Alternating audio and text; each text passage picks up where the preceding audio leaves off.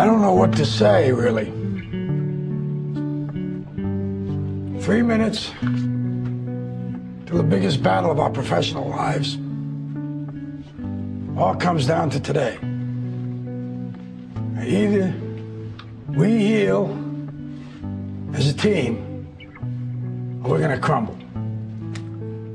Inch by inch, play by play, till we're finished. We're in hell right now, gentlemen. Believe me. And we can stay here, get the shit kicked out of us, or we can fight our way back into the light. We can climb out of hell. One inch at a time.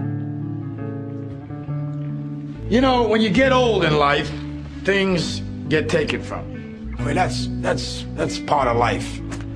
But you only learn that when you start losing stuff.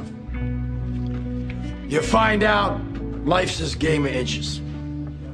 The margin for error is so small. I mean, one half a step too late or too early, and you don't quite make it. One half second too slow, too fast, you don't quite catch it. The inches we need are everywhere around us. They're in every break of the game, every minute, every second.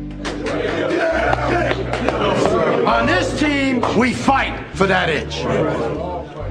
On this team, we tear ourselves and everyone else around us to pieces for that inch. We claw with our fingernails for that inch. Because we know when we add up all those inches, that's gonna make the fucking difference between winning and losing.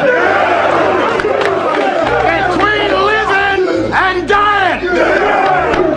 I'll tell you this, in any fight, it's the guy who's willing to die who's gonna win that itch.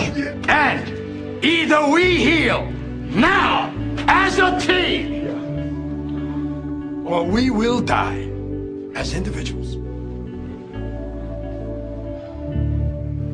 That's all it is. Now, what are you gonna do?